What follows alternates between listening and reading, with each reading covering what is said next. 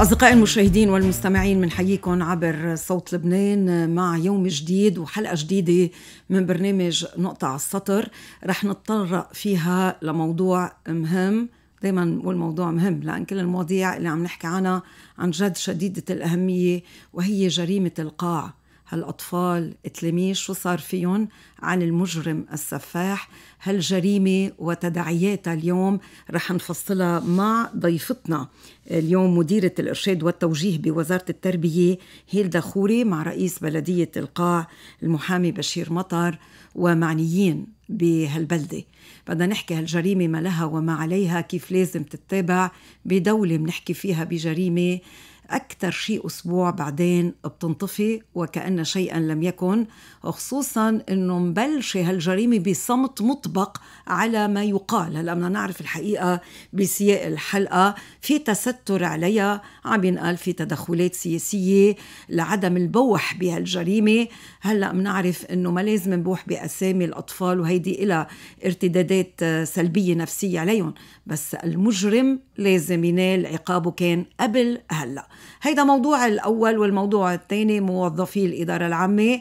بعدهم على ما يبدو مقضربين كل الاجتماعات اللي صارت مع الرئيس نجيب ميقاتي ما بدهم. يعني كل هالعناوين اللي انطرحت مش موافقين عليها. فإذا شو تداعيات اليوم؟ استمرار موظفي الإدارة العامة بالإضراب. كمان رح نحكي هالشيء اليوم مع عضو رابطة موظفي الإدارة العامة المهندس إبراهيم نحال وخصوصا أنه في حالة من الموظفين توفت لأنه ما قدرت تدفع ثمن دواء.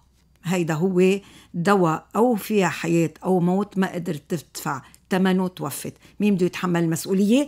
عنوانين لحلقتنا اليوم. قبل ما نبتدي هالعناوين خلينا دايما نحكي بداية بدولة العجز عن معالجة أي ملف من الملفات المعيشية اللي عم بيتخبط فيها الشعب اللبناني.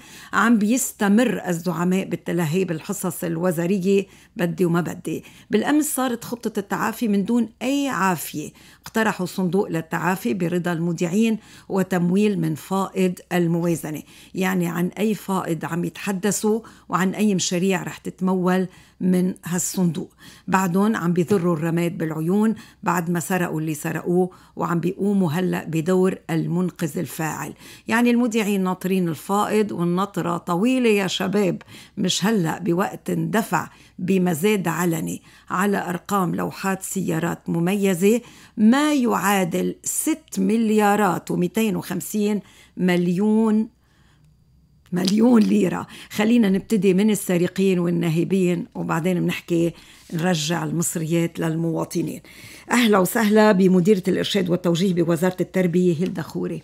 صباح النور لك للمشاهدين والمستمعين. اليوم تصدرت جريمة اغتصاب أطفال. القاع نفذها عسكري لبناني متقاعد من بلدة القاع اللي عم نحكي عنها التابعة لمحافظة بعلبك محافظة البقاع الشمالي شرقي لبنان اهتمام كل الناس والجريمة من هول تفاصيلها تحولت إلى قضية رأي عام وشغلت اللبنانيين. يعني تصوري آه، آه، مواطن آه، اسمه الياس ظه استدرج عدد كبير من أطفال البلدة وأوقعهم بشباك التحرش والاعتداء الجنسي. حضرتك مديرة الإرشاد والتوجيه بوزارة التربية شو عندكم تفاصيل عن هالجريمة؟ وهل صحيح ما يحكى عن صمت مطبق حيالها وهي كانت موجودة من قبل ومستمرة؟ هلأ يلي صار جريمة كتير كبيرة. توصيفها الجرمة هيدا بيطلع عن القضاء. يعني مفترض هلأ ننطر لأنه هيدي الجريمة بعهدة القضاء والقضاء أكيد بيطلع الحكم وبيطلع التوصيف المزبوط للجريمة يلي صارت. بس هيدي الجريمة جريمة كتير كبيرة وتداعياتها ما بتوقف هلأ بهالأسبوعين. لازم نكون عم نتعاون بين كل الوزارات وهيدا يلي اليوم جايين نحكي. لأنه هيدي العيال يلي صار معها هيدا الشيء وهودي الأطفال بدهم مواكبة نفسية تربوية اجتماعية من هلأ هلا لفترة طويلة تيقدروا يطلعوا من اللي هن فيه. وهون بدي أكد يعني مثل ما قلتي حضرتك يمكن وصفنا شو كانت مهنته أو الضيعة. ما هيدا بيصير بكل ضيعة وبكل مهنة. يعني المجرمين يلي هن عم بيعملوا التحرش أو قضايا الاغتصاب هن موجودين وين ما كان محل معين وبتصير بكل الضيعة. المهم هلأ إنه هيدا يكون عم بيتحاكم ودغري مش يطول.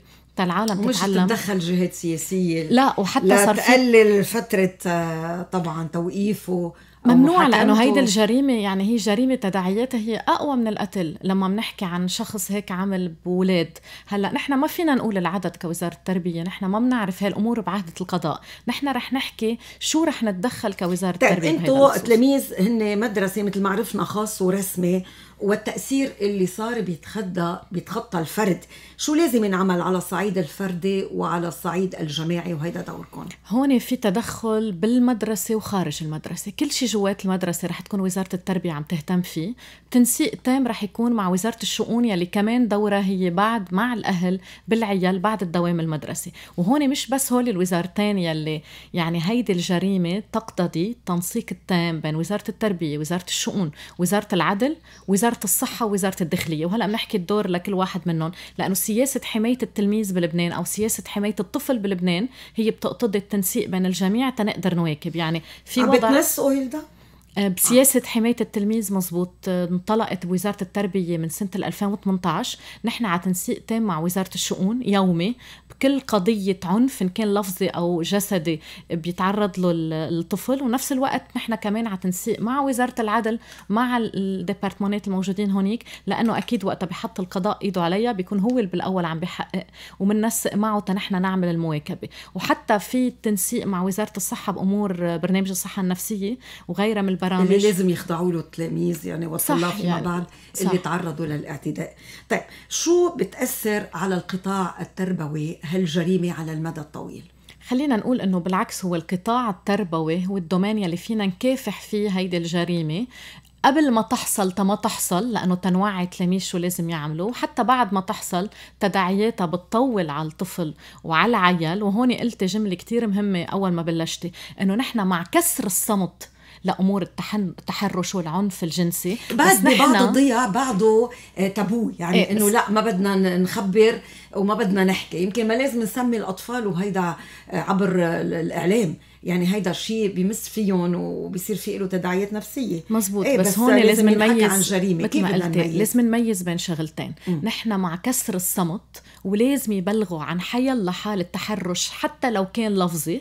وهيدا في قانون بلبنان حكى عن هيدا الأمر ووصف الجريمة يلي هي للتحرش. دونك هيدا لازم يكسروا الصمت بس يحكوا مع الناس يلي لازم ينحكى فيهم. في خط ساخن بقلب وزارة التربية في نفس الشيء في خطوط بقلب وزارة الشؤون بيقدروا يبلغوها بيقدروا دغري يبلغوا القضاء. بس بمحل معين نحن لازم نحافظ على خصوصية الأهل الأولاد يلي تعرضوا تما نزيد من الوصم الاجتماعي اللي ممكن بعدين طيب يأثر. في بالمنهج التربوي أو من آه، يعني خلال هالوزارات إنه ما صار في توعية للتلاميذ قبل إذا تعرضوا لأي تحرش شو لازم يعملوا مين لازم يخبروا إذا آه، يتعرفوا على أنواع. في كتير تلاميذ ما بيعرفوا شو يعني تحرش. مزبوط. من ضمن سياسة الحماية اللي انعملت مع منظمة يونيسف من سنة 2018 صار في عدة أنشطة بقلب مدارس. غطينا تقريبا صاروا بال 500 مدرسة بس أكيد بعد عنا كتير مدارس تتغطى. اللي صار إنه صار في نقطة ارتكاز بكل مدرسة على سياسة حماية التلميذ بالبيئه المدرسية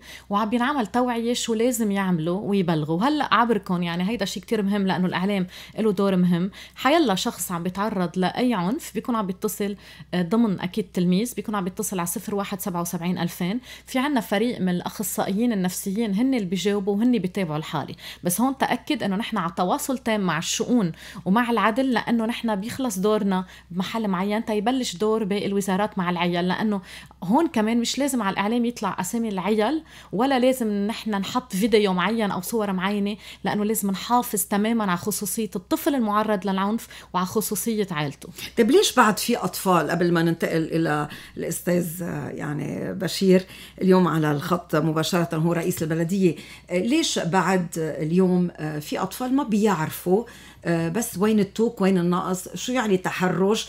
ولما حدا بيتحرش فيهم شو لازم آه، يعملوا. مزبوط هلا وين بكتاب التربية المدنية؟ هلا المناهج كلها عم ترجع ينعمل لها من جديد إعادة نظر وهيدا الشيء اللي رح يصير بالمناهج الجديدة من ضمن سياسة حماية التلميذ إنه ندخل هيدي الأمور اللي عم بيشتغلها المركز التربوي حاليا. هلا نحن كسياسة حماية التلميذ عم نشتغل بقلب الوزارة تنوصل لأكبر عدد ممكن. بس هون اللي بقول لما بتصير القصة مثل قصة القاع هون لازم نتصرف كلنا بطريقة موضوعية بطريقة مهنية. وهون أنا بحيي رئيس البلدية يلي فعلا دغري اتصل بوزارة التربية ونحن على تنسيق تام تنحدد الخطوات الجاية لأنه بهالحالة ما بكفي بس إنه نحن نسير الأمر لمدة أسبوعين بدها متابعة على المدى البعيد وبدها تصرف فعلا باكثر آه، المهنية وموضوعية لازمة لأنه في أهالي تأثرت في أولاد تأثرت في عيال تأثرت وبالعكس هون إذا صار في شغلة بقلب ضيعة معينة لازم أو بلدة معينة كلنا لازم نتعلم من القصص يلي بتصير تا ما تنعاد بس نفس الوقت نتابعها ما نترك بس إنه القصة بتنطفي بأسبوع أسبوعين لأنه التداعيات اللي صار بالقاع بدها أشهر وسنين تنقدر نطلع منها وهيدا لازم نتعلم بكل لبنان إنه نحن لما يصير في تحرش نبلغ عنه فورا ابدا ما نسكت عن هيدي الجريمة ونفس الوقت نبلش نتابعها يعني ما بكفي نبلغ بدنا نبلغ بدنا نتابعها وبدنا كمان نشتغل على توعية تما بقى تصير هيدي الحالات بلبنان. يمكن كان لازم نشتغل على توعية من قبل بس مناهجنا كانت هالشي عندها تابو يعني صمت على هالمواضيع. على الخط مباشرة رئيس بلدية القاع المحامي بشير مطر أهلا وسهلا فيك عبر صوت لبنان. صباح الخير ستنا وصباح الخير لضيفتك الكريمة. أو يعطيكم ألف عافية. أنا رح أنطلق من نقطة قالتها مدام هيلدا وهي كسر الصمت أو حضرتك قلتي وشرحت كيف بينكسر الصمت. قضية مثل هيدي يعني بدنا نروح على المرجع المختص ونقول في تحرش أو في اعتداء أو في إغواء أو اللي هو. هون كسرة صمت ضروري وواجب. ولازم ولازم نعجز ونشوف إذا في تشريعات كمان بتلزم أكثر وأكثر لكذا حدا يكسر هالصمت. بتفرق هيدي بين إنه نحن نطلع على إعلام بين مزدوجين يعني ونصير نحط خبرية ورا خبرية نأذي نأذي القضية نشوه القضية نحرفها على مطرح ثاني ويصير في تبادل اتهامات واستغلال لأسباب وعديده وما بتخدم القضية، يعني أنا اليوم بدي أقول لك شغلة آه وهلأ آه زرع الشك برؤوس اللبنانيين عبر وسائل التواصل أو عبر هالإعلام أو بعض الإعلام الغير مهني إنه لا القضاء مسيس وزارة التربية مسيسه أو فاسدين آه البلديه المخابر النواب لك آه الشؤون الاجتماعيه ما ضل في بلبنان حدا صالح. إلا الشخص اللي بيكون عم يكتب وبيعتبر حاله هو اللي امرأة قيصر لا شبه عليها. طيب هذا الشغلة هيدي بتودي لمطرح ما فينا نوصل فيه لنتيجة وبتودي لمطرح بيأذي كثير. اليوم نحن انختم التحقيق بهالملف. والنتيجة إنه في خمس أطفال هن بهالتحقيق بهالملف هيدا. طيب رح يطلع وطلع أصوات ناس إنه في عم يلفلفوها وعم يعملوها وعم يصيروا أي يعني انحكى عنكم انحكى عن إنه أهالي القاع آه، يعني في صمت مطبق الجريمة كانت آه، تمارس من أشهر آه، وكان في صمت مطبق عليها وما كان بدهم إنه تنكشف هيك جريمة أمام الرأي العام. هلا برايك إنه بالقاع وبالمجتمع لا يعني عم نفسر شو ضيعه وإذا نعم. حدا عرف إنه هيك يعني ما بيكون قتله يعني ودى لنتيجه أو شيء. بس أنا اللي عم أقوله هلا النتيجة اللي وصلنا لها. اليوم في خمسة خمس أطفال. انحكى عن أعداد أكثر ليش يتناولوا أطفال أكثر أنا هذا اللي رح هذا اللي هون بدي أقوله. إذا افترضنا في إعداد أكبر انحكت بالإعلام بجرايد ببعض الجرايد. طيب مين مين مصدركم؟ مين مرجعكم؟ هلأ بقول لهم أنا للإعلام ساعدونا. إذا أنت يا صحافي أو يا إعلامي قلت في 20 واحد هذا ال 15 وين؟ في في تلفلفة للقضية ما الواحد والخمسة والعشرة بالنسبة لنا هي ذاتها بس هال 15 وين؟ لأنه أنت استندت على أخبار ما لها طعمه وما لها قيمه وعلى مصادر مش موثوقة وإذا مستند على مصدر موثوق هو مصدر أمني أو مصدر آه، بالتحقيق.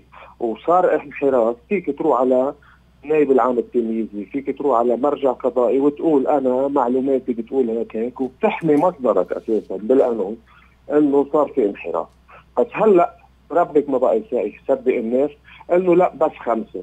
وزياده عن هيك. إذا نحن هلأ عم نشتغل وراح نضل نشتغل بهذا الموضوع إنه خلي كل حدا تعرض يروح يدعي بعد اليوم بكرة مرور الزمن ما ما في عليه مرور زمن هذا الموضوع. يعني إنه إذا راح ادعى نتيجة الضجة اللي صارت والتسييف اللي صار والتخويف اللي صار ما عطت يعني خوفت الناس وعملت ردة فعل عكسي.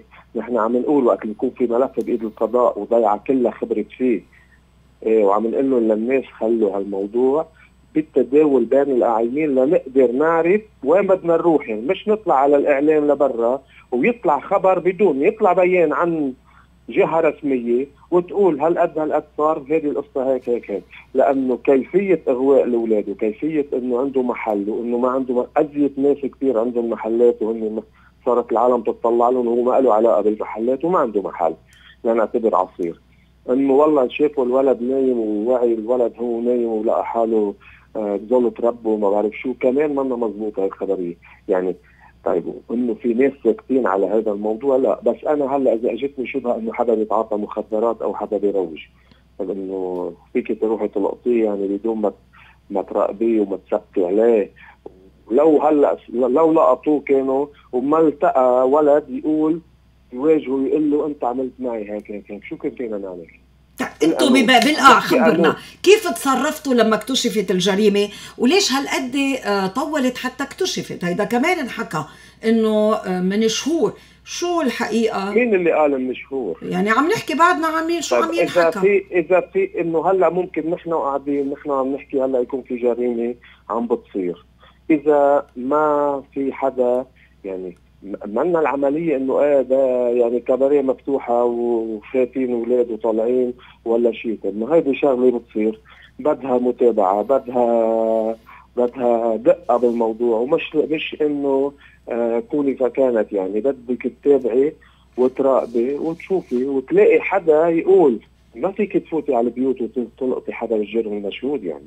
نعم. إنه بالآخر هيدي هيدي عملية شوي معقدة، ثاني شيء يعني ما حدا يفكر إنه الأجهزة الأمنية بهالوقت وال إنه يعني عندها الحرفية وعندها الإمكانيات وعندها العديد الكافي.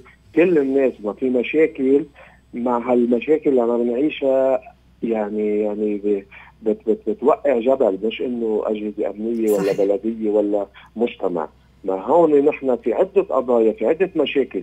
إيه أنا بقول لك إنه نحن بنعترف بتقصير منا أنتم وين مقصرين كبلدية؟ برأيك؟ ما سمعت. وين مقصرين؟ تقصير من مين يعني قلت؟ لا كان لازم نسهر على جيل الشباب على إنه نتابع الموضوع نشوف نحس نضلنا قراب من الشبيبه إنه نحن في ملعب عم يلعبوا فيه أولاد هلأ كل نهار بيروحوا كان لازم نخلي الملعب آه، مضبوط مع الناس يعني يكون في معهم مراقبين. بس الإمكانيات ما بتسمح لنا يعني. بس إنه يروح الولد يلعبوا بالملعب وهيك بدون رقيب نعم. هلأ اليوم مثلا يعني عاملين مباراة مباراة بالفوتبول الشديدة هيك اللي بأعمار من الأعمار الأولاد اللي صار اعتداء عليهم. عاملين مباراة بالفوتبول أربع خمس فرق وميداليات. يعني هن مبادرة منهم. بس هيدي الأشياء لازم نشجعها أكثر وأكثر كنا لازم نهتم فيهم أكثر وأكثر. لازم نضلنا نراقب نشوف. وأنا من من من زمان بنادي وبقول في مشاكل مخدرات بهالبلد ومشاكل انه في ناس عم تتعاطى واولاد وانتبهوا على حالكم وراح أقول لك شغلة يعني إنه بنعمل آه ندوة توعية مشان المخدرات من بيجي حدا ضابط من أول أمن بنصير بدنا نعبي الصالة كيف ما كان لأنه الناس ملتهية بغير مطرح. وكلياتنا التهينا بغير مطرح إن كان بالسياسي أو بالمهاترات أو بالمشاكل اليومية إيه كيف بدك تغير هلأ؟ انت بالبلديه يعني. كيف بدك تغير؟ شو بدك تعمل على المدى البعيد؟ وبدنا نعرف القصة الحقيقية شو صار لأنه كان في قصص عم تتداول مثل ما قلت بالبداية عبر وسائل الإعلام عبر مواقع التواصل. هيك باختصار القصة شو صارت وكيف صارت؟ القصة الحقيقية اللي صارت إنه في حدا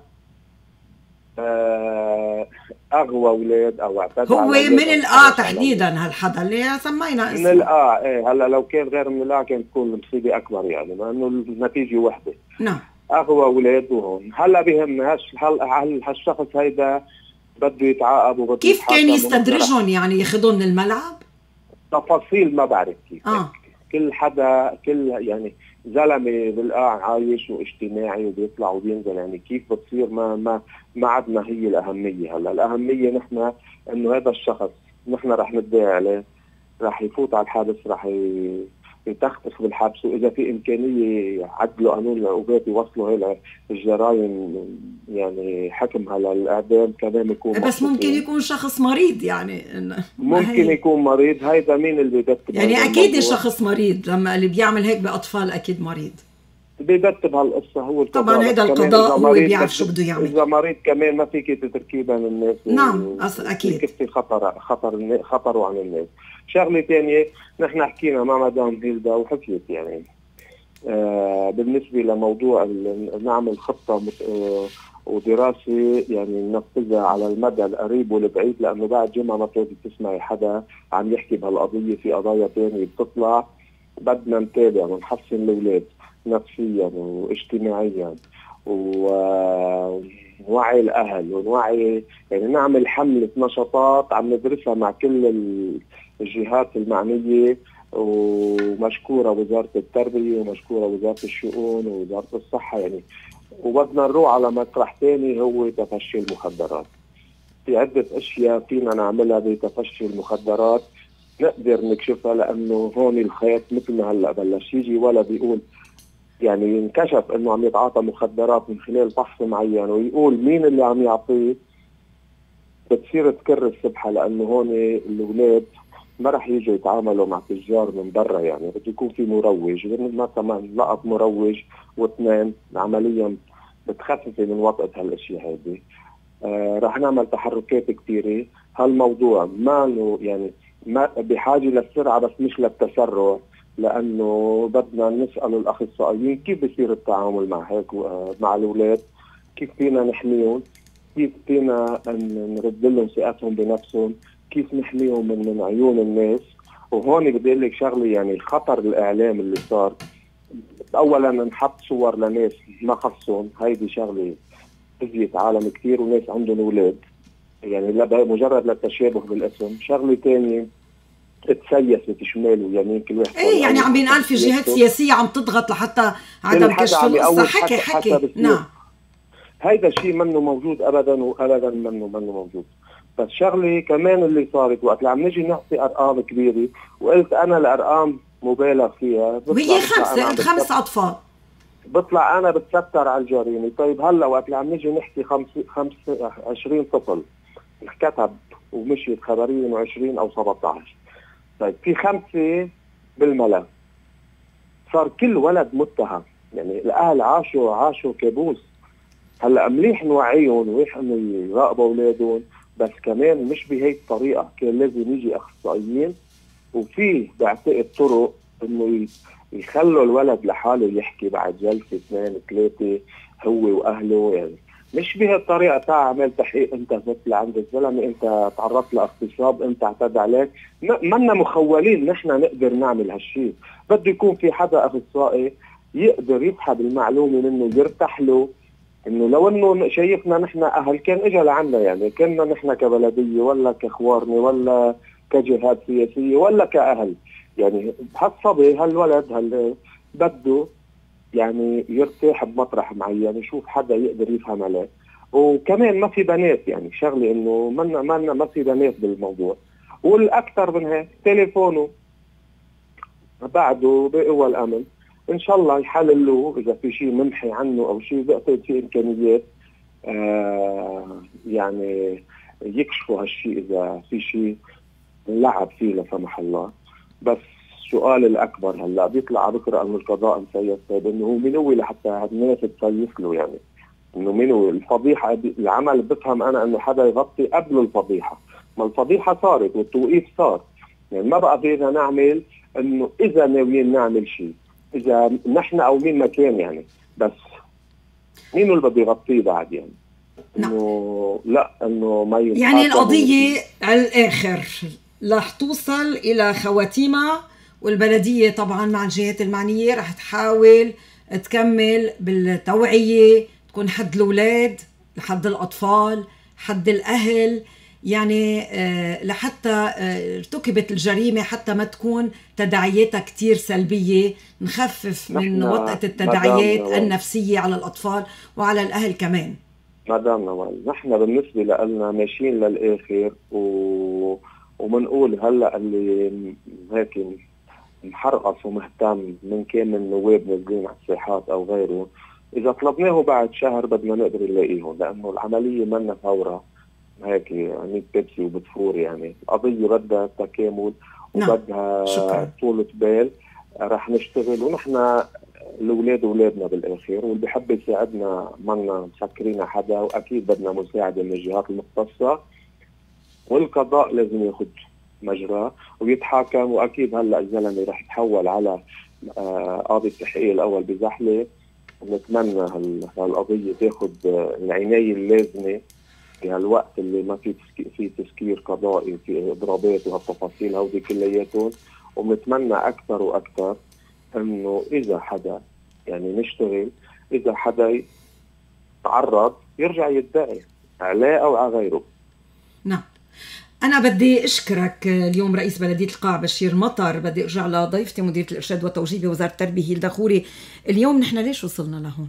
ليش ليش صار هيك؟ بقلب سياسة حماية التلميذ في شقين، في الشق اللي هو توعية وهو الأهم وهيدا البريفنسيون، في شق هو لما بتصير الحالة كيف بنتصرف وكيف بنجاوب على الحالة. نعم. الاثنين لازم نكون عم نشتغل عليهم بقلب لبنان وهيدا صارت يعني آه، عبر يونيسف وعبر باقي الجمعيات صار في هيدا الاتصال بين الوزارات المعنية، وهون بدي أرجع أكد إنه معالي وزير التربية مع سعادة المدير العام بتنسيق تام ومتابعة لهيدي الحالة، وهيدي الحالة بدها تنسيق مع باقي الوزارات وخصوصا شؤون وعدل وصحة وهيدي حكيناها. طيب. بدي في نقطة قالها كتير مهمة.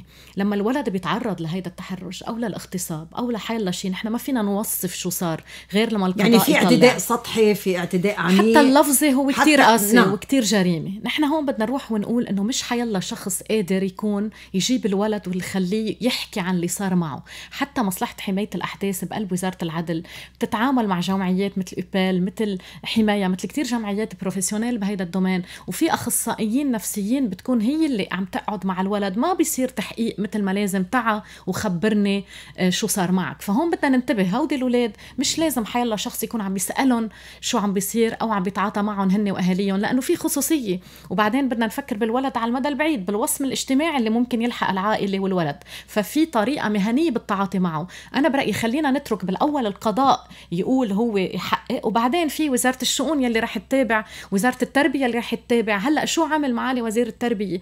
عطى تعليماته. نحن بصدد تحضير أنشطة صفية. من ضمنها أمور هي دعم نفسي اجتماعي ومتابعة بطريقة مباشرة وغير مباشرة مش بس لهودي الولاد كمان لكل البيئة. لأنه مثل ما قال هلأ رئيس البلدية هي كل البلدة هلأ بحالة بدها متابعة. وهون بدي أقول إنه ما خص بلدة القاع إنه صارت فيها هيدي الشغلة. مش لازم نكون عم نعمل وصم بالعكس بلدة القاع هي كانت عم تتصرف بمهنية مع القصة. ولازم نحن من اللي صار بالقاع ومن التفاصيل اللي صارت والمتابعة يلي رح تصير مع كل هيدي. نتعلم تنكون عندنا جهوزية تامة بالبلديات وهون دور البلدية ودور اللامركزية بقصة الاهتمام بالطفل إن كان تربويا واجتماعيا نفسيا وكل هودي القصص. فهون بدي ركز على نقطة إنه هيدي بدها مستوى من المهنية بالتعاطي مع الأولاد ومع أهاليهم لأنه هيدا وضع كتير دقيق وبتأثر على الولد على المدى البعيد. في أرقام تليفونية صوت لبنان عندنا مداخله رح ناخذها رح نذكر كمان الاصدقاء المشاهدين والمستمعين على 01 325 555 خلوي 76 611 003 005 واتساب call 76 611 001 مين معنا؟ ألو صباح الخير. يا أهلا. يعطيك العافية وبحييك وبحيي كان ضيفك بشير مطر. أهلا وسهلا. معك سيمون سكيب سيمون سعد الله سكيب أهلا وسهلا فيك. بخصوص التحرش إنه إذا شخص بيعرف أنا عم بتهم ناس عم يعني هيك افتراء وتبلي وكل شيء قال أنا عم بتحرش ببنات ومدري شو. قلت لهم واجهتهم إذا أنا عم بتحرش ليه ما, ليه ما بتهجم علي؟ ليش؟ مين اتهمك بالأول؟ مين اتهمك؟ يعني اتهمتني مدام مدام جارتي وفي مشاكل وهلا مكسرين لي إزاز سيارتي لأنه أنا متشك عليهم. التفر آه افتراء وما افتراء إذا متهميني أنا أنا تحت القضاء. أنا اسمي سيمون عبد الله سكيف رقمي 76 636 723 بتمنى القضاء المختص اي بالأحداث بكل شيء. يبعث وراي ويشوفني ويحقق معي. آه، والمرة اللي قالت إنه أنا عم بتحركش بالبنات بس بدي أعرف مين البنات. ويصير مثل ما عم بتقولي حضرتك مع احترامي في حماية أحداث. أنا ضد أنا معهم للبنات. أنا إذا بشوف حدا عم بحركش ببنت غريبة مش لإلي بروح بقول له لبي أما شيء يعني شفت أنا اللي عم تذكرهم هي المدام. المدام اسمها تيريز شاهين أنا على الهواء أنا مسؤول على كلامي. اللي عم تذكرهم أنا بيون بيون عيطت له قلت له انتبه على بناتك في شباب وهيك وهيك و... يعني أنا إذا بشوف ولد غريب وما خصني فيه بروح عليه بلقطه أما بصوره بتليفوني. نعم. ليه ما صورتني؟ ما دام هيك عم تحكي. عيب عيب بقى. نعم. شكرا لك في تفسر أنا تحت القانون رجاء رجاء رجاء عم يسمعني يبعث وراي. يعني شكرا لك اثرته وتشكيت بأشياء غير وتهجموا علي ومكسرين لي إزازي وهلا بيقولوا لي بتروح لجمعة جمعتين القاضي قال ما فت يعني مش أنا متشكل على 10 أشخاص امبارح صار تحقيق معهم ما توقف ولا واحد منهم مع إنه إزاز سيارتي هلا مكسور أنا ما معي ما معي صالحه مع مين مين مسؤول عن هالشيء؟ إذا الأشخاص اللي هن المعتدين علي وزتين علي حجار ومعي فيديوهات وزوات القوى الأمنية فيهم علاقات العامة وما حدا متوقف كيف شكرا لك أهلا وسهلا فيك. تفضل. نحن هون بس بدنا نضوي على نقطة إنه هيك أمور بعهدة القضاء، بس نعم. كمان بدنا نوصل رسالة لكل ولد عم بيتعرض لحيلا نوع من العنف أو التحرش، إن كان لفظي أو جسدي أو حيلا نوع، حقه وحقك إنه يكونوا عم يتصلوا يبلغوا ويكسروا حاجز الصمت بس يبلغوا الجهات المختصة. يعني يعني هن بلغته لإله آه، أنا بلغت جيراننا نحن عم نعلق على قصة بس أنا وياك تبلغ الجهات المختصة. أنا برأيي ما فينا نفوت لأنه بدك تسمع الشخصين نعم. وهالقصة. نعم. يعني أنا بهيك شغلة ما فيني أعلق عليها لأنه ما بنعرف الحقيقة كيف صارت. لازم اثنيناتهم يروحوا على القضاء. وحتى هو يروح على القضاء والقضاء بيقرر. بس أنا كمان ما بدنا نقول إنه لا إذا حدا عم بيتعرض لعنف أو لتحرش إنه ما يبلغ. بالعكس وأنا هون بوجه لكل تلميذة أو تلميذ أو طالب إذا عم بيتعرض لحيا لنوع تحرش لا تكسر الصمت يكسر الصمت ويتصلوا بوزارة التربية ونحن بنكون عم نتصل بوزارة الشؤون نحول لهم والعدل تنتابع بس ما فيهم يكونوا مش عم ببلغوا. لأنه هون كمان في تابو هيدا لازم نشتغل عليه إنه ما بنبلغ إذا نحن تعرضنا لحيا لنوع تحرش. هيدا غلط. لا من حقك ومن حقك إنه تكونوا عم تبلغوا على حيلا نوع تحرش. وهون القضاء هو بيقرر وبيوصف شو صار. وساعتها لازم كل شخص مغلط تجاه الاولاد أو تجاه حيلا شخص تاني تكون عم بيتعاقب ونكون عم نتابع الاولاد فلا اكسروا حاجز الصمت بس بلغوا الجهات المختصة. على 01 77 2000 كوزارة التربية أو بلغوا وزارة الشؤون أو روحوا للقضاء. بس مهم بلغوا الجهات المختصة. نعم أنتم كوزارة التربية كيف تتعاونوا مع البلدية تحديدا؟ يعني بهالحالة وغيرها؟ هلأ بهيدي الدومين وبغير دومينات كتير مهم وجود البلدية لأنه إذا بدنا نروح للخدمات اللامركزية من تربية من صحة من دعم نفسي اجتماعي لازم نكون عم نشتغل مع البلديات ومع وزارة الداخلية وهيدا يلي تبلش وهيدا بشدد عليه معالي الوزير وكمان عرف إنه هو عم بينسق قصة التنسيق مع رئيس البلدية ليش البلدية نعم. لأنه البلدية هي رح تجمع حدا من وزارة الصحة من وزارة التربية من وزارة الشؤون من وزارة العدل وبمحل معين تقدر تعمل تعمل أنشطة إن كان داخل المدارس وإن كان برات المدارس. ومن هون دور رؤساء البلديات يكونوا على هالقد مسؤولية لما بيصير في هيك شيء ولما ما بيصير في هيك شيء يعني هلأ شو رح نعمل نحن؟ باختصار بالصيف رح نعمل أنشطة مدرسية داخل فيها دعم نفسي اجتماعي وبطريقة مباشرة وغير مباشر مباشرة رح نتناول موضوع المخدرات بس رح نكون عم ننسق مع الوزارات المعنية ورح نتناول كل القصص الخاصة بالدعم النفسي الاجتماعي ونفس الوقت نتناول القصص الأكاديمية.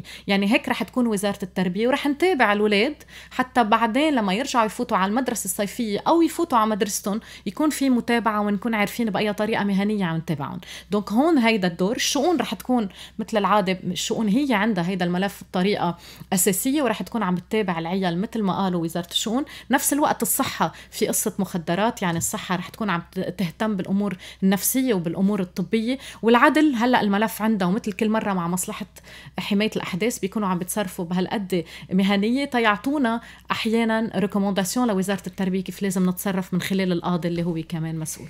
على الخط دكتور شوقي عزوري الطبيب والمحلل النفسي أهلا وسهلا فيك عبر صوت لبنان. أهلا فيكي تابعت موضوع القاع وقضية القاع اللي صارت قضية رأي عام؟ أه لا بكلمتين شو؟ نعم أه يعني أه طبعا عميد متقاعد تحرش بأطفال أه هن خمس أطفال تحرش فيهم اليوم السؤال لما بيصير في هيك تحرش على أطفال شو التداعيات النفسية اللي بتصير عليهم؟ بدهم يحملوا هال هال يعني بدهم يحملون كل حياتهم. يلي عم نشوفه بالعيادة هو آثار الاعتداء خاصة إذا جاي من من بي أو من حدا من العائلة بيحملوه كل حياتهم آه، كعذاب ما بيقدروا بيطلعوا منه بيتردد بعيالهم وقت اللي بيتجوزوا وبجيبوا هن أولاد. يعني هيدي الشغلة مفروض نقدر نوصل لها بلبنان مثل بغير بلدان متقدمة. يعني مع إنه الوضع اللي نحن فيه هلأ يمكن بخلينا أكثر نفكر كيف بدنا نكمل نعيش من إنه كيف بدنا ننتبه على أولادنا. بس هيدي الشغلة أساسية لينمو الأولاد بطريقة سالمة حتى يوما ما ما ينجبروا هن يكرروا هالشيء يلي يلي اعتدى عليهم هن وصغار مع حدا ثاني يعني هيدي مشكلة كبيرة لأنه تنتقل من جيل لجيل ها؟ ونحن بالعيادات تبعونا يعني الأطباء والمحللين النفسيين بنلاحظ إنه هالإشياء كان فيها ما تصير.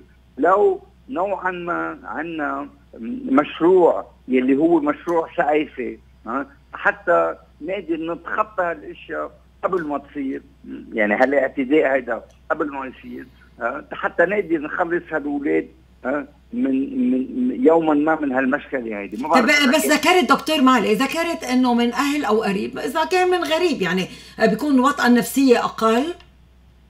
أه، من غريب إيه بطريقة من الطرق لأنه إذا بدك الأهل وقت بيتعدوا على أولادهم البي العم الجد الخالة وقت بيتعدوا على أولادهم بيخلقوا عندهم قلق أساسي لأنه حدا من العائله الأولاد مجبورين بطريقة من الطرق يكونوا بعضهم عندهم. مثلا وقت بي يعتدي على بنته هالبنت بدها تحمل هالعذاب كل حياتها لأنه من ميل البي يعني تصرف كرجال من ميل ثاني عنده وظيفة البي اللي هي أساسية يعني بنصير شايفين أزمة كبيرة عند هالطفله اللي اعتدى عليها البي. ما بتعود تقدر تفرق بين وظيفة البي ووظيفة الرجال. يعني مشكلة مشكلة كبيرة وعميقه بينما إذا صارت حدا براني نوعا ما نوعا ما بنضل نلاقي لها علاج بطريقة من الطرق. طيب هلأ صارت مع خمس أطفال بالقاع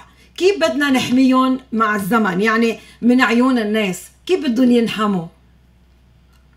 أه والله سؤال سؤالك أساسي بس صعب. يعني بدنا نجرب بطريقة معينة. يعني القراب منهم مفروض يحكون ويفسروا له نوعا ما شو صار. ما يحملوا هالعبء كل حياتهم ها يعني بدنا نحميهم. بدهم علاج نفسي مش بس يفسروا لهم. يعني بدهم علاج نفسي على المدى الطويل. ما هي المشكلة إنه ما مفروض نوصل لعلاج نفسي مفروض قبل العلاج النفسي. نعم. نقدر نوعا ما نحمي هالولاد ونشرح لهم الوضع اللي هن فيه. يعني العلاج النفسي بيجي شيء ثانوي بعدين المهم إنه بالأول يعني بالوضع اللي هن فيه هلا نقدر الأهل يلي قراب منهم يقدروا نوعا ما يفسروا لهم شو صار. حتى وظيفة البي تضل وظيفة أساسية براسهم ها؟ بمعنى إنه ما يوصلوا يوما ما يرفضوا هالوظيفه هيدي ويصير حيلا بي عم ببين مثل مجرم بطريقة من الطرق نسبة لهم. نعم. أنا بدي أشكرك دكتور شوقي عزوري الطبيب والمحلل النفسي. أستاذة هيلدا. حكي الدكتور عن نقطة مهمة هي قصة قبل ما تصير. يعني في عنا كتير توعية بدها تصير وهون في نحن عندنا نقص بهالموضوع. خلينا نعترف إن كان بمدارسنا إن كان بعيالنا إن كان خصوصا بهالمناطق البعيدة النائية. يعني في هون في جزء من المسؤولية على المجتمع في جزء من المسؤولية على نعم. المدرسة في جزء من المسؤولية على الكل. وهون لازم نتقاسم المسؤولية تنعمل شيء. هلأ يلي عم بيصير حاليا بالوزارة وبما إنه المناهج عم بيرجع يعيد ينعمل عملية تطويرها بالمركز التربوي صار في أنشطة دعم نفسي اجتماعي رح تكون هلأ عندها محور أساسي بقلب الأنشطة الصيفية وكمان السنة الجاية بقلب المدرسة من ضمن هيدي الأنشطة اللي هي دعم نفسي اجتماعي بتمرق كل الرسائل يلي لازم يعرفهم التلميذ تيكون أول شيء عم بيعرف حقه وثاني شيء عم بيكون عم نحافظ على الصحة النفسية تبعيته لأنه بعد بعد الأزمة اللي عم بتمر بلبنان نعم. ضروري نكون عم نشتغل على الصحة النفسية لكل العالم نعم اليوم آه، آه، يعني إذا أنتم تلقيتوا خلينا نحكي صح. آه، كوزارة تربية بلاغ عن حالة تحرش أو اعتداء إن كان داخل مؤسسة أو خارج كيف تتحركوا فورا؟ يعني خلينا عملكم. خلينا نقول كيف ببلغوا. عندهم الصفر واحد سبعة وسبعين ألفين الخط الساخن. تاني شيء فيهم يجوا على وزارة التربية. في أخصائيين نفسيين موجودين خلال الدوام كل أيام الأسبوع. فيهم يجوا بدون موعد مسبق يكونوا عم بيشوفوهم وثالث نقطة فينا عبر الجمعيات نحن عم نتعاون. وهون بوجه تحية لكل الجمعيات اللي هي عم تبلغنا بحالات الحماية اللي عم تعرف فيها وعم نتعاون معها. وأكيد يونيسف هي عم بترعى هلا طلعت بيان اليونيسف إيه وبيان مهم. هلا لازم نحكي نعم عنه. هلا نحكي عنه. نعم. بعد ما نحن نتلقى في جزء يلي هو داخل المدرسة وفي جزء يلي هو خارج المدرسة. في بعض الحالات نحن بنحولها إذا مسار غير قضائي لوزارة الشؤون تيهتموا بعد الظهر مع العيال. وفي أحيانا بنحولها مسار قضائي لوزارة العدل وبننسق مع مصلحة حماية الأحداث تنقدر نتصرف. من بعد ما العدل تخلص أو الشؤون بيعطونا feedback تنحن نعرف كيف لازم نتصرف بقلب المدرسة. donc هيك بيصير بقلب وزارة التربية. يعني مثلا بقصة ثانوية جورج الصراف من بعد ما كانت بعهدة القضاء نحن عملنا تدخل حتى مع الهيئة الوطنية للمرأة وحتى مع آه، جمعية يونيسف تنقدر فعلا نكون على الأرض عم نتصرف. هيدا غير إنه مصلحة الأحداث عندها الجمعيات اللي كمان هي بتتصرف معها تنقدر نعمل متابعة. فحاليا باختصار إذا في حيلا شخص عم بيتعرض لتحرش أو صار معه آه، لا سمح الله اغتصاب أو شيء بيتصل على 0177 2000 إذا آه، ببلغ وهون بدي ضوي على نقطة أغلبية الحالات اللي عم نتبلغ فيها كوزارة التربية هو إنه العنف صار خارج المؤسسة المدرسية. بس ليش ببلغونا بقلب المدارس؟ لأنه الولد بيوثق أكثر شيء يا بأستاذ عنده يا بالمدير يا بشخص تاني. ما بيقدر يقول لأهله بيقدر يقول لأستاذه أو مديره. فنحن الحالات التحرش اللي نبلغ فيها هي أغلبيتها عم بتكون خارج المؤسسة التعليمية بس نحن نبلغ فيها. حتى بهيدي الحالة نحن بنتصرف وبنحولها يا عدل يا شؤون وبنكون عم نعمل المتابعه التربويه لأنه هيدا يلي لازم يصير. نعم.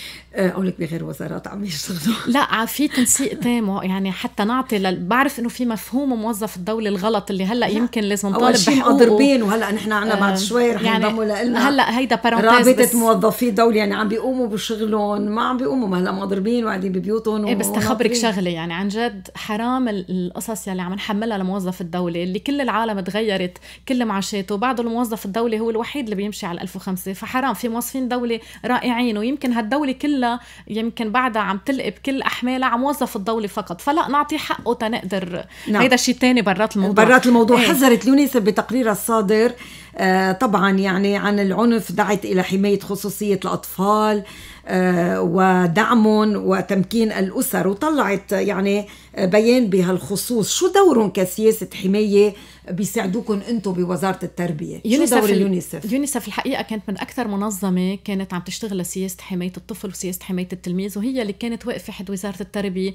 وبعدها عم تعملنا هي دعم بهيدا الخصوص وحتى نعم.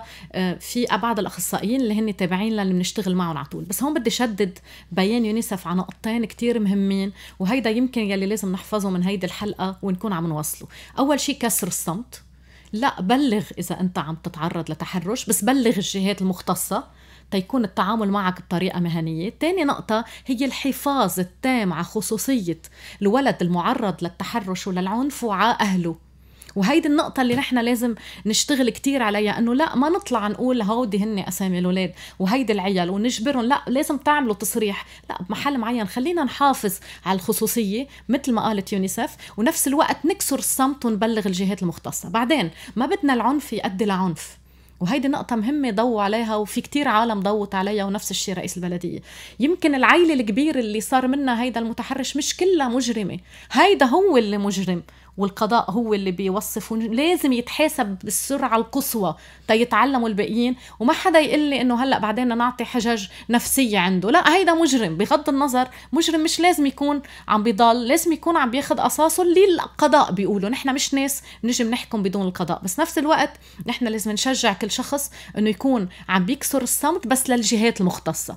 مين الجهات المختصة؟ في يكون عم ببلغ وزارة التربية. إذا هو تلميذ في يكون عم ببلغ وزارة الشؤون في يكون عم ببلغ القضاء في يكون عم ببلغ قوى الأمن. يلي بوجه لهم كل تحية لأنه عندهم خط ساخن كمان للأمور المتعلقة بالعائلة وبالإمرأة أو حتى بكل شخص معرض للعنف وعم بيتصرفوا بطريقة كتير. يعني بلغوا مين ما بدكم بس بلغوا الناس اللي لازم تبلغوها وصار عندكم أرقام موجودة بتصرفكم بس ما نكون عم نشهر ولا بالاسم العائلة ولا بالاسم الولد يلي تعرض للعنف لأنه هيدا بمجتمعنا ممكن يكون مثل ما قال الدكتور على المدى البعيد يكون عم بيأثر عليه سلبيا. طيب بعرف وزارة التربية أطلقت سنة 2018 سياسة حماية التلميذ آه، بالمدرسة طيب شو صرتوا شاغلين لهلأ منه هالسياسة؟ هيدي سياسة السياسة التلميذ لما أطلقت بال 2018 أطلقناها بالسياسة الحماية تنجاوب على الحالة إذا صارت وسياسة التوعية. بالتوعية طلع كتب توزعت على كل المدارس الرسمية مع أدوات وأنشطة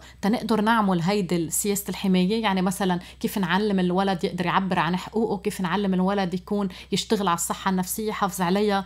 كل هودي الأمور نحن في أنشطة انعملت. نفس الوقت في كتيب طلع عن سياسة الحماية. بيقول للمدرسة أو بيقول للأهل في حال أنتم تعرضتوا لشي كيف بتعملوا. صرنا عاملينها تقريبا ب 500 مدرسة يلي فيها نقطة ارتكاز وهيدي السنة في تعليمات من معالي الوزير ومن سعادة المدير العام نعممها على كل المدارس الخاصة والرسمية ونحن بطور إنه نحضر الخطة تنقدر ننفذها كلها سوا يكونوا كل العالم كل المدارس الرسمية والخاصة بلبنان فيهم نقطة ارتكاز لسياسة حماية التلميذ بالبيئة المدرسية. لازم المجرم ينال عقابه. ضروري. لازم القضاء يقول كلمته. بس لازم كمان اللي وصلوا لهون يمكن يكون نفس السبب اللي رح يوصل يمكن تلاميذ ما كسروا حاجز الصمت ولا حكوا شو تعرضوا له مش تلاميذ أو أطفال. يعني هون هيدي آه، في هيك سيركل مش مزبوط هو لما بنشتغل على الصحة النفسية للبلد كل الأمور بتنحل مشان هيك نحن كلبنان مش لازم تصرفنا بس يكون على صعيد إذا صارت الجريمة كيف بنتصرف. لازم نكون عم نشتغل على خلينا نعمل prévention تا هيدي الجريمة ما بقى تصير لأنه إذا كل العالم بحالة نفسية منيحة ما بنوصل. بس نفس الوقت خلينا نكون واضحين إذا الجريمة جريمة وصفت من القضاء يعني بلبنان حلا بقى ياخذ كل مجرم. العقاب تابعوا له يعني حلا حلا تيتعلموا الباقيين. بعدين مش هينه التحرش. نحن بلبنان في تابو. يمكن إذا بتسألي بتلاقي نسبة كبيرة من العالم متعرضة لتحرش ومش هيك. بتحكي. والتحرش اللفظي هو تحرش والتحرش الجسدي هو grave بس كمان اللفظي هو أكثر خطر بمحلات معينة لأنه بيعمل بولينج هذا التنمر اللي عم بيعيشه الولد بمرحلة معينة يمكن ما بيحكي إلا لما يصير كبير. فنحن لازم نوعي التلميذ والولد وال... وهي وهو والكل إنه إذا بيتعرضوا لتحرش بمحل معين إنه لازم يبلغوا لأنه مش لازم ممنوع حدا يكون عم يتعرض لهم تحرش سواء من داخل المؤسسة من خارج المؤسسة من من القريبين عليهم من البعاد عليهم. يعني هيك شغلة هلأ هيدي تصارت تنكشفت هيدي الجريمة أكيد في حدا حكي. وهيدا الحكي هو شخص ضروري نهنيه بس نفس الوقت مش نجي نضر بخصوصيته لأنه هيدا بيأثر عليه. دونك بلا لازم يبلغ عن التحرش إحدى العيال اكتشفت يعني عم تبرم على ابنها مثل ما انكتب. وهون نفس الوقت بدي أقول العيال يلي تعرض له إنه عاري بغرفة طبعا المجرم وأنا هون بوجه الحديث للعيال يلي تعرضت. هون لازم نكون عم نتصرف مهنية عالية بس لازم كمان ما نكون مش آخر الدنيا إذا صار في مشكلة. كل مشكلة بتنحل ضروري أكيد فريق وزارة الشؤون رح يكون عم عم بيتواصل مع هود العيال ونحن كوزارة التربية رح نعمل واجبنا مع التلاميذ بس كمان لازم نكون عم نتصرف. صارت القصة هلأ لازم نعرف كيف نداويها. وبمحل تاني لازم تكون هيدي اللي صارت هي مثل تنبلغ بحيالله محل أول ما تصير القصة تما يكونوا عم بيروحوا أولاد أكتر لأنه اللي ببلش مع ولد وما بيتحل بيتحاكم أو ما بيكون عم بياخذ عقابه يمكن بيرجع بيعمل نفس الشيء مع ولد تاني وهيدي المشكلة. نعم على كل حال لازم تتابع هالقضية لأنه في قضايا بتطلع على الرأي العام وبتكون قضية الراي العام. تطلع قضية أكبر منها تصمت هالقضية لترجع آه، تحكي قضية تانية. هيدي بلبنان. هيدي القضية ما لازم ينسكت عنها لازم نتابع التحقيقات للآخر.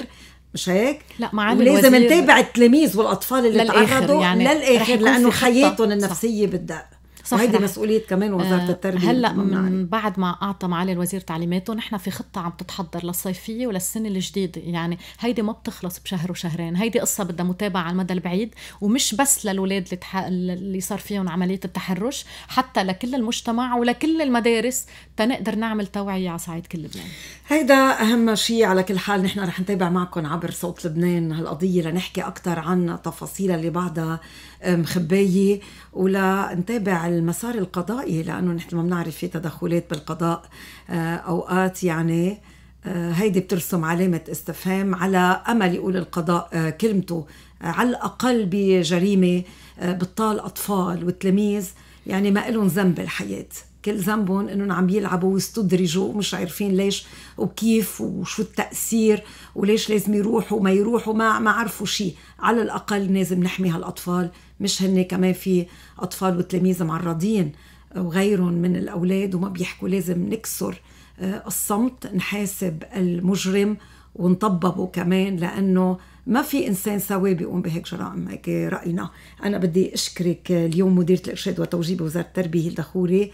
أهلا وسهلا فيك عبر إذاعة صوت لبنان. الشكر لك لأنك عم بتضوي على كل هودي المواضيع العميقة وعم تتناوليها بطريقة مهنية جدا فشكرا لك ولصوت لبنان. شكرا هيلدا. على كل حال بعد هالفاصل بدنا نحكي عن موظفي الإدارة العامة. مع عضو آه، اليوم بهالإدارة رابطة موظفي الإدارة المهندس إبراهيم نحال. فاصل ونتابع.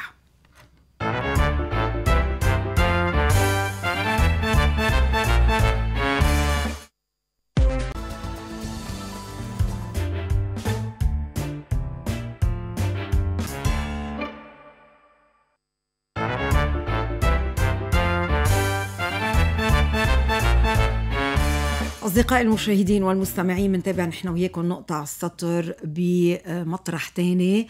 آه، يعني عم نحكي اليوم عن الإدارة العامة. كمان في مشاكل وجرائم بدنا نسميها. لما آه، بتتوفى موظفة مش قادرة تشتري دواء مش هيدي كمان جريمة؟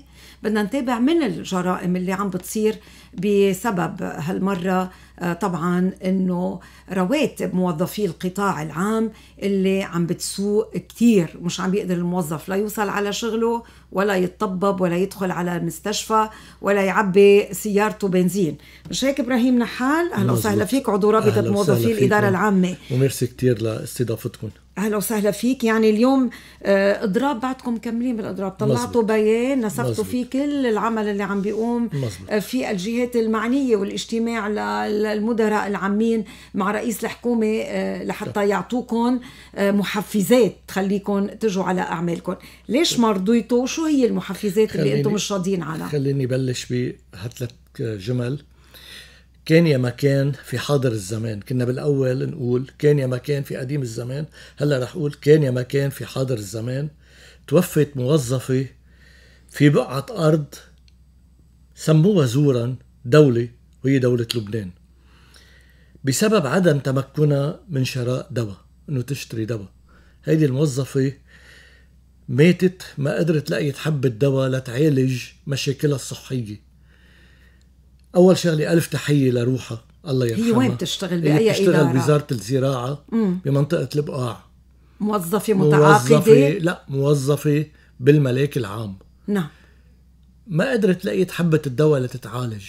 هيدي ما جريمة. الدواء ولا ما قدرت دفعت اشتريت. أول شغلة الدواء مقطوع. نعم. بعدين حتى لو الدواء موجود طلبوا منها فريش دولار بأسعار كتير غالية لأنه بالسوق السوداء يعني عم تشتري دواء بالسوق السوداء. عم بدها تشتري من الصيدليات من السوق السوداء ما هم تامنوا لحتى تتعالج بس ما قدرت تامنوا هيدي جريمة بحق الإنسانية. هيدي جريمة بحق البشرية. جريمة بحق الموظف بحد ذاته. في كتير جرائم مثل صارت.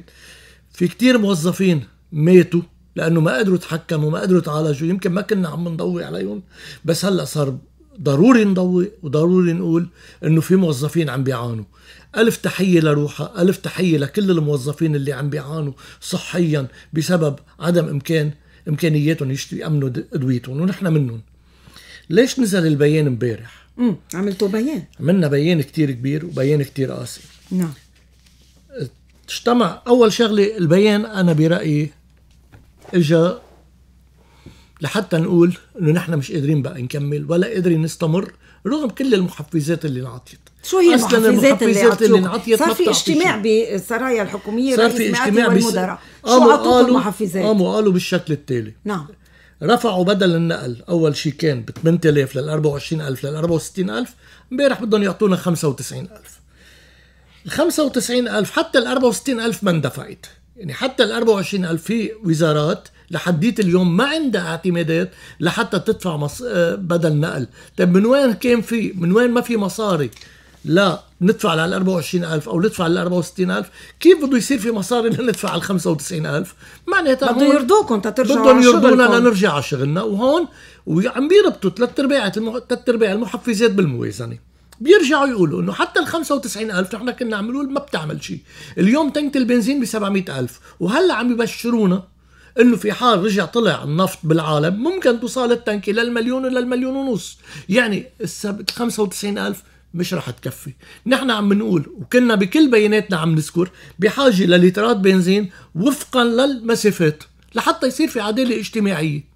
إنه الموظف وقت اللي بيكون ساكن قريب من بيته بياخد عدد لترات معينين. وقت اللي بيكون بعيد عن بيته بياخد كمان عدد لترات تاني- تانيين. هيك نحن بنكون حريصين على الدولة وعلى مالية الدولة وحريصين على بصيروا كل الموظف. الموظفين بيصيفوا لا بعتقد انه بعتقد إنه مجلس بالجبال بعتقد إنه مجلس ودي... بيختاروا لا لا. لا, مجلس. الخدمة وديوان المحاسبة عندهم المعطيات إنه يقدروا يضبطوا هيدا الموضوع. هلا إيه بهالوقت، عندهم. إيه إبراهيم، عندهم بهالوقت. عندهم إيه عندهم. بصير أنا بيتي بدي أقعد أنا مثلا بدل أنا بيتي. بش... أنا بيتي بشكه ما في زعبر وب... وشغلي بطرابلس نحن معلش خلينا نقول رب تزعبر بلبنان هلا، خلينا نحكي الأمور طيب اليوم شو يعني التداعيات؟ هلا. إنه ما بدنا وما بدنا وما بدنا لا لا نحن عم. نطرح لا نحن عم نطرح رجعوا قالوا لنا إنه بنعطيكم مساعدة اجتماعية قلنا لهم نحن نرفض مبدأ المساعدة لأنه مبدأ المساعدة إنه نحن شحادين نحن منا شحادين نحن موظفين محترمين في هذه الدولة اللبنانية. نحن مبدأ المساعدة مرفوض بالأساس. عاطيوا بالبداية. نص نص شهر مر مربوط بثلاث أيام عمل. وقت اللي لقيوا إنه كمان ما في أمل من الموضوع حرروا المساعدة من ثلاث أيام عمل. امبارح قالوا إنه بيعطوا المساعدة لمد شهر كامل يعني معاش شهر ولكن مربوط بيومين عمل. طب ما أنا وقت اللي عم بيكون معاشي مليون ومليون ونص وهذا الحد الأدنى للموظف. بيطولوا الدوام يعني بيصير دوام أطول لا و- بنيجي يومين قال على العمل. طب ما نحن رح نحطهم بنزين رح نحطهم كهرباء رح نحطهم اتصالات رح نحطهم كل شيء. يعني عمليا ما عطيونا أكثر من 200 ألف للموظف. شو رح تعمل له ال 200 ألف؟ ما بتجلبوا ربطتين خبز أو ثلاث ربطات خبز على بيته. نرجع للطبابه راحوا قالوا نرفع لل نرفع للتعليم أربع مرات بنرفع للطبابه خمس مرات. طيب يا أخي ما وقت اللي المستشفيات عم تطلب مني فريش دولار. طيب أنا كيف بدي فوت على المستشفى؟ حتى لو رفعت لي اياه خمس مرات. ورحت قلت لي إنه هيدي الخمس مرات مربوطة بالموازنة وانطر ليصير في موازنة. يعني عمليا انت عم بتبيعني سمك بالبحر بدون ما تعطيني أي شيء بدون ما تقدم لي أي شيء وعم تطلب مني بالوقت ذاته إني أرجع على العمل. وارجع على وظيفتي. وامن للمو... للمواطن الخدمة بالوقت اللي أنت لا امنت للمواطن لا كهرباء ولا امنت له مي ولا امنت له هاتف اتصالات ولا امنت له آه cellular ولا امنت له غاز ولا امنت له دواء ولا امنت له استشفاء أنتوا كدولة متخليين عن كل مهامكم وعن كل وظائفكم ما بدكم تقدموا شيء لل... للمواطن ولا الموظف بالوقت اللي بدكم تضغطوا على الموظف وتحطوا المواطن بوجه الموظف بتقولوا له تفضل انزل على شغلك. طيب هلا وصلنا لهون. وصلنا لهون. وصلنا لهون. إيه نحن بعدنا بدكم مكملين. تعملوا كيف كملي؟ هلا بعد نحن مكملين ماشية؟ نحن مكملين. ما عندنا مجال. نحن ما عندنا امكان بنضل مكملين بالمفاوضات. بس أنتم مش عم. يسمعوا رأيكم؟ بعدكم لهلا معتبرينكم مخالفين للقانون للأسف. وهيدا هلا مش وقتها. نحن برأينا لا مش مخالفين للقانون نحن ديجا وقلنا إنه نحن مستمرين لحديت 15 7 ووقت نحن بمفاوضات ال- ال- بالإضراب المفتوح ما حدا اللي عم نقول إنه عم نستمد شرعيتنا من الموظفين عم نستمد شرعيتنا بالوقت اللي الموظفين مصطفين ورا الرابطة بالوقت المست... الموظفين عم يلتزموا بقرار الرابطة هذه الرابطة شرعية وتستمد شرعيتها من قرار اذا لا. مؤشرات بالأفق إلى إمكان فك الأضراب أكيد نعم. والأضراب مستمر حتى تحقيق كافة المطالب شو رح يصير بعد الدولة تحللت الدولة تحللت مسؤولية الدولة طيب نحن مسؤولين عن عدم وجود كهرباء بالدولة رغم 50 مليار دولار خلينا. نسمع هلا شو بدها تقول زينة محمود أخت فاطمة طالب الموظفة بمصلحة الزراعة بالبقاع واللي توفت بسبب عدم قدرتها على تأمين الدواء. زينة الله يرحمها والعوض بسلامتك. ميرسي إلك شو القصة؟ شو الحقيقة؟ خلينا نعرف ليش توفت آه، اليوم فاطمة. أه الحقيقة هي إنه من سنة لهلا أو 8 أشهر لهلا كانت مريضة. أه طلب لل كان معها cancer طلب للحكيم دواء. cancer وين يعني؟ نعم. إيه. نعم. تفضلي. إيه طلب لها دواء ال cancer بلشت مشت على أساس الدواء متوفر وكل شيء وهي كمان كثير تحسنت أول شيء. من شهرين انقطع الدواء. صرنا بدنا نأمن الدواء أه بلمنا لها كذا منطقة وكذا يعني بكل المناطق لحتى نأمن لها علبة دواء. حتى أنا من الناس أه ما كانوا يقدروا يأمنوا لنا إياها. ما كان موجود بلبنان. ما كان موجود. بلبنان يعني. مقطوع صح. إيه صار مقطوع يقولوا لنا مقطوعة نعم. بس هي أكيد في متوفرة. آه بس طلبنا إنه بأي ثمن بنجيبها صار يقولوا نحن عم نجيبها من تركيا ب 1000 دولار. 20 حبة دواء بده نحقق 1000 دولار. لشيء قديش كانت عم تقبض لحتى بدها تجيبها يعني بقى بتدفع 30 مليون بحساب كرمال حبة دواء جابتها هذا الشهر الشهر اللي بعده منين بدها تأمنها. ما كانوش كمان يأمنوا لها إياها. يعني ما قدرت جابته من. تركيا وما قدرت. أمنت مش ثمنه. قدرانة ما قدرتها تجيبه أكيد ما قدرتها تجيبه ب 1000 دولار. طب بقيت بدون دواء؟ ضلت بلا دواء شهرين. بهول الشهرين كانت هي كثير متحسنة 80% ويعني بلشت تتحسن. بهول الشهرين اللي وقفت الدواء رجعت رجعت أكثر ما كانت بس رجعت لحالة الصفر وأقل صارت تحت الصفر كمان. حولها الحكيم على جرعة كيميائي. أمنوا لها أول جرعة أول جمعة ثاني جمعة بدها الجرعة كمان الجرعة انقطعت. طب إنه كل ما بدها تمشي على خطوة لقدام تبلش تتحسن زرعه الكيميائي ما كانش يلاقولها دقينا للدكتور يعمل مستشفى تأمن لنا إياها. بحقها. قال لا أنتم بتتصلوا وبتتصرفوا بدكم تأمنوا لها إياها من برا.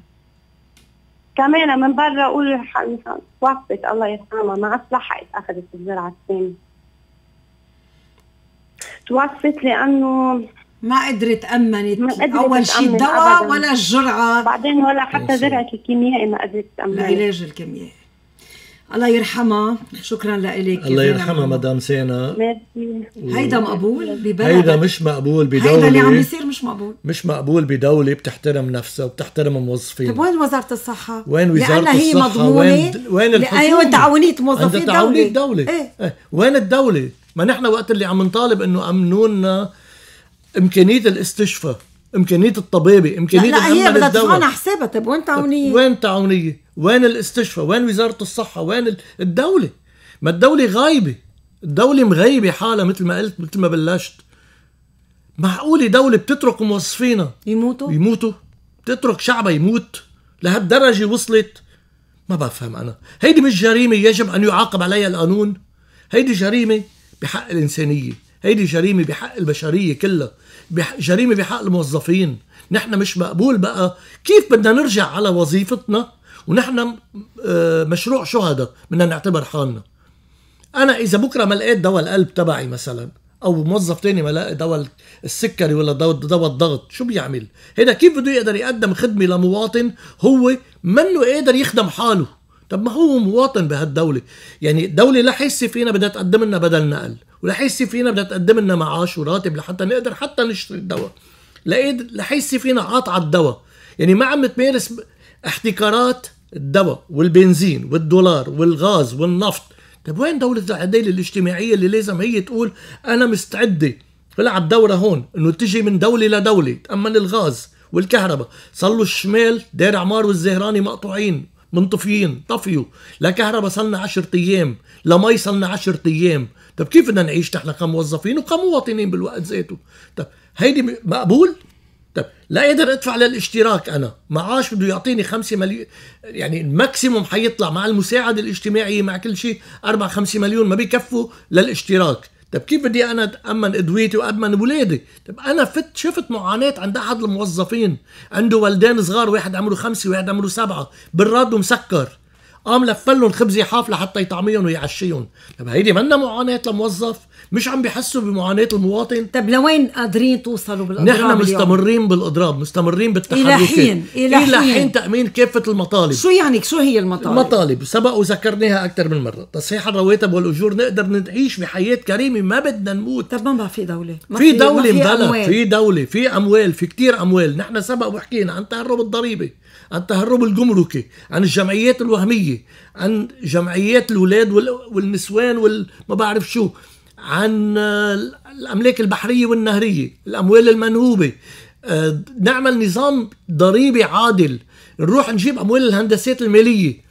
ندفعهم على الفوائد اللي أخذوها 49% هل في عدل إنه كمان في ناس بتاخذ سندات خزينة بفوائد 49% وهندسات مالية لمصارف أخذين ملي كذا مليار دولار؟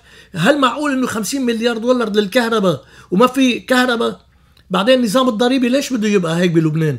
نحن لازم يكون عندنا نظام ضريبي آه، عكس مثل ما هلأ موجود، نحن 80% نظام ضريبي غير آه، غير مباشرة إيه بس ما و20% بيتحققوا ليش ما. بيتحققوا؟ ما بيتحققوا. هلأ يعني. ليش ما بيتحققوا هلأ؟ لأنه هن اللي عاملين هيك برضه- هن موجودين طيب بالسلطة لكن لكن نروح على الثورة إذا هيك لا الموظفين حيوصلوا لانفجار اجتماعي وقت اللي بدهم يبلشوا يموتوا أكيد حنروح لانفجار اجتماعي بكل البلد مش نحن بس.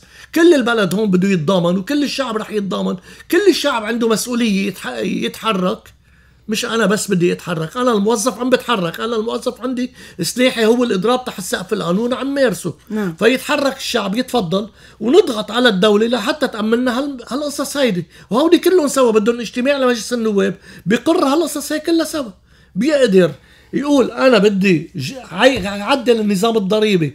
من 80% نظام ضريبي غير مباشر ضريبه غير مباشرة إلى 80% من الضرائب غير مباشرة على مع ضريبة تصاعديه على الأرباح إلى 20% ضرائب غير مباشرة إيه بس هن بيعرفوا شو بدهم. يعملوا بس ما بدهم يعملوا لهلأ ما في أشياء بدي أسألك الدولار؟ الجمركي الدولار الجمركي اللي جي عم يجي يحطوه بظهرنا إنه إذا هن بدهم يقروا الدولار الجمركي يجي نحن نتحمل مسؤوليته يحطونا بوجه الناس بيروح بيقول رئيس الحكومة لا دولار جمركي ما في زيادة للقطاع العام إلا إذا أقرينا الدولار الجمركي. يعني كأنه عم بيجي يقول أنا بدي أحط المواطن بوجه الموظف ويا مواطن. أنت ليك مين عم يكل مين عم بيغلي عليك؟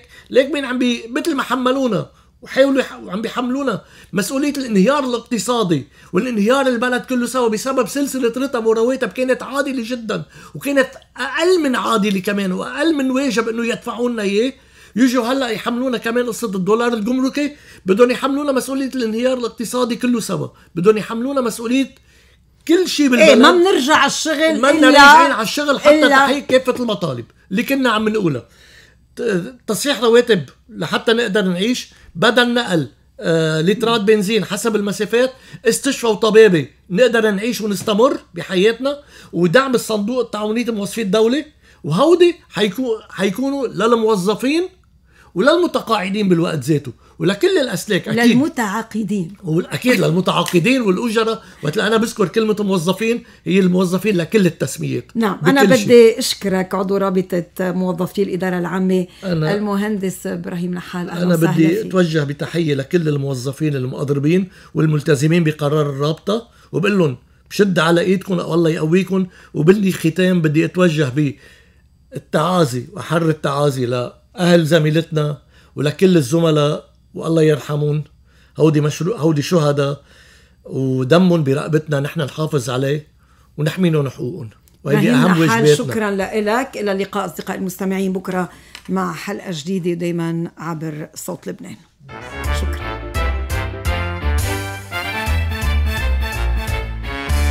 كلمة محلة بتنزل حفر نقطة نقطة. كلمة محلة بتنزل حفر نقطة نقطة بتحفر صخر. لو فرجونا نجوم الظهر مع نوال الصوت بيعلى. ومنحط النقطة عالصفر نقطة عالسطر